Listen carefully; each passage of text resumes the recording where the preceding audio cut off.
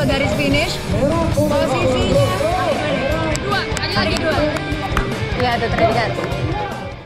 Nah, sebelum kamu lanjut nonton video ini, aku pengen kamu untuk subscribe, subscribe this channel, nyalakan loncengnya juga ya. 3, 2, 1.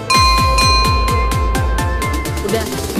Nah, gitu Wow. dong. Thank you ya udah subscribe. Tradikers, semakin jauh dari titik start, tantangan di depan mata pun bertambah hebat. Bukan jeram, melainkan pusaran air yang gue harus taklukkan. Serius nih, Mat? Aduh, Tradikers doain gue ya, please.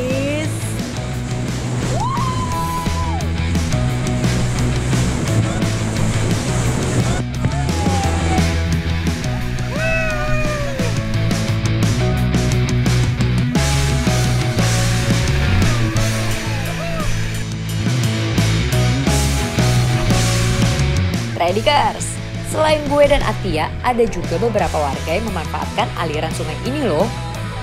Wah, sungai ini emang membawa berkah ya, Mat, untuk warganya.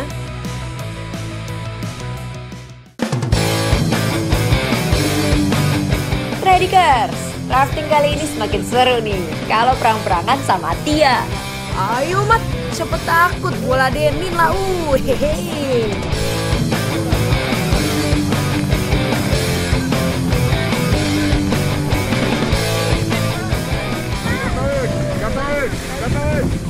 hehe.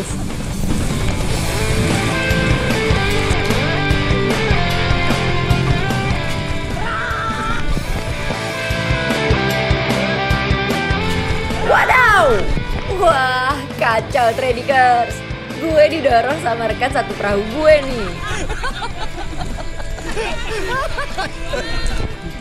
Gila loh, tim macam apa tuh? Oke Tradikers, Be- begitulah tadi eh, sedikit simulasi kalau misalnya kita jatuh habis itu eh, jangan ditebalikin tapi diangkat ya ada naga sedikit. Lompat ya dong yang itu dong oh, ini kita punya senjata banyak Tradikers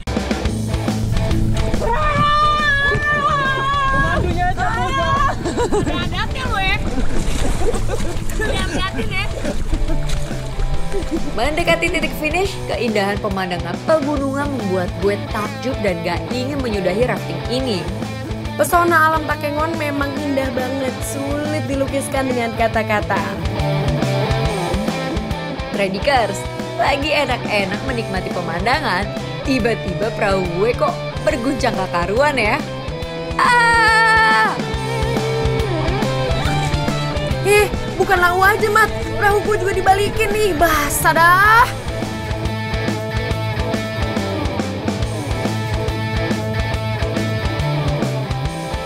Setelah menempuh pengarungan sekitar 4 km, Rafting kali ini pun berakhir di Luku Badak. Seru banget pokoknya, thank you banget bang, bang Miladi Dan juga teman-teman dari Gayo Adventure, pokoknya semuanya yang pengen cobain rafting di Tanah Gayo ya. Yes, betul Langsung banget. ketemu ya harus kita ini. Explore semua yang ada di sini Tradikers. Masih Jadi. banyak lagi Yuk. petualangan yang bakal kita lalui ya. Ya pastinya di Takengon ini jadi tetap terus saksikan keseruan kita hanya di Travel Addict Tanpa mata.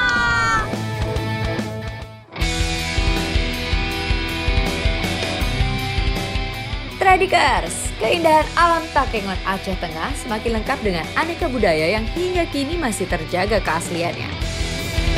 Ya, salah satunya adalah pacuan kuda tradisional Gayo.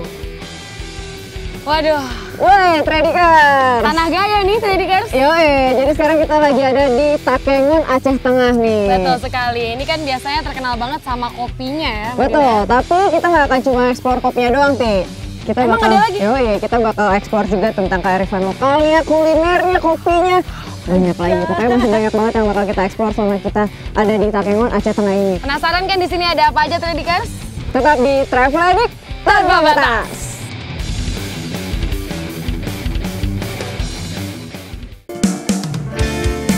Tradikers, untuk mengetahui lebih jauh tentang tradisi di dataran tinggi Gayo ini, gue akan cari tahu ah. Misi. Halo bang. kabar bang? Waduh, ini lagi mau persiapan ya? Bersiap pacuan nih. Oh gitu. Biasanya sebelum lari itu kudanya persiapannya apa aja sih bang? Di, di apa ini? Ditaruh minyak kakinya, Oh, Minyak apa nih bang? tawon kak. Kayak diurut-urut dulu Iya, gitu. iya. Oh, di... minyak tawon kan anget ya? Iya. Itu biar apa tuh tujuannya? Biar panas dikit ya kak. Oh jadi larinya lebih kenceng. Oh mantap Siapa juga ini ya. bang? Laksamana muda. Laksamana muda. Mana muda? Jadi ini bukan cuma manusia aja yang suka dipijit, tapi ternyata kuda juga suka dipijit, Mat. Iyalah, apalagi disuruh muterin lari kenceng gitu kan. Biasanya Iya, iya, iya. eh, ini tuh untuk apa sih menghindari hal-hal tertentu kah? Kenapa makanya harus dipijit? Biar nggak kram gitu aja kak. Bisa kram juga ya? Nah, biar nggak kram gitu aja. Oh. Kepelitek gitu kali ya. Iya. Gak mudah ya ngerawat Iya, kuda ya. benar-benar gak semudah merawat diri sendiri ya. Betul. Nah, ini ngomong-ngomong masalah pacuan kuda, tadi kan udah ada yang disiap-siapin nih Iya. untuk pacuan kudanya. Gua punya jagoan ya. gue juga punya jagoan. Lu udah ada? Udah, gue punya joki jagoan gue. Gue juga punya. Lo siapa? Sebut aja nih. Tuh, dua, tiga. Ali. Ali. Kita lihat aksinya Ali dan juga kuda-kudanya hanya di Travel Edit. Tanpa batas. Yuk. Yuk.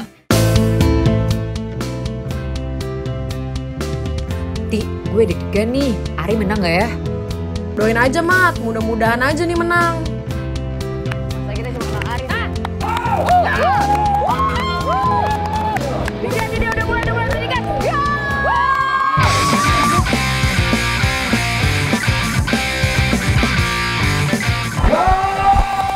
Posisi Ari emang agak di belakang, tapi mungkin akan ada satu peran,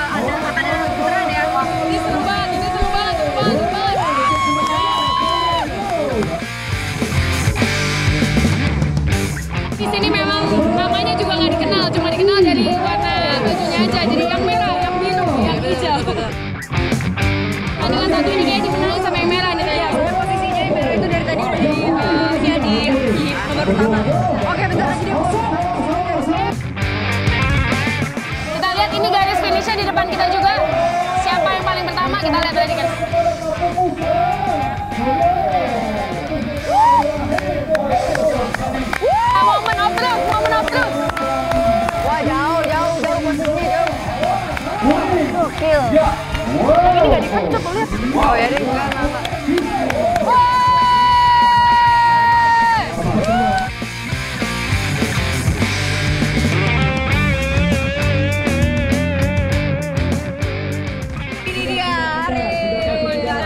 Jagoan kita. Makanya nih, tadi sebenarnya tuh kendalanya ada di kudanya, apa di kamunya, apa gimana nih? Kenapa? Agak malas. Agak malas. Oke,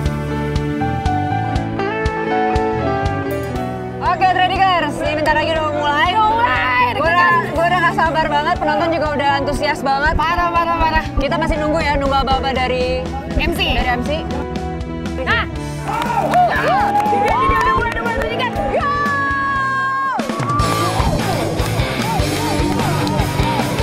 Dalam pacuan kuda dibagi beberapa kelas yang dipertandingkan. Gak heran ya kalau Ari mengikuti beberapa kali pertandingan dengan kuda yang berbeda.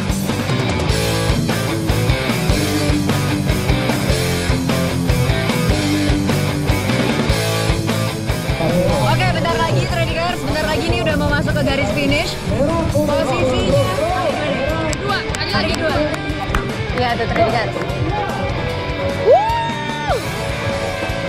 Dan pemenangnya. Wah, mat tipis. Tipis, menangnya tipis antara Ari sama yang di depan. Tipis banget.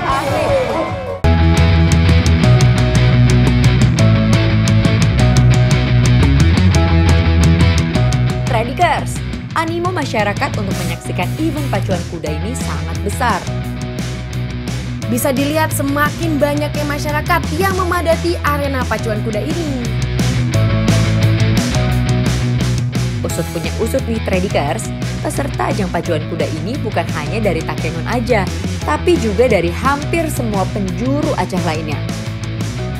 Beruntung banget gua Mat bisa melihat pertandingan pacuan kuda ini. Eh Mat, jagoan kita lagi main tuh. Mana Ti? Oh iya, itu tuh Ari.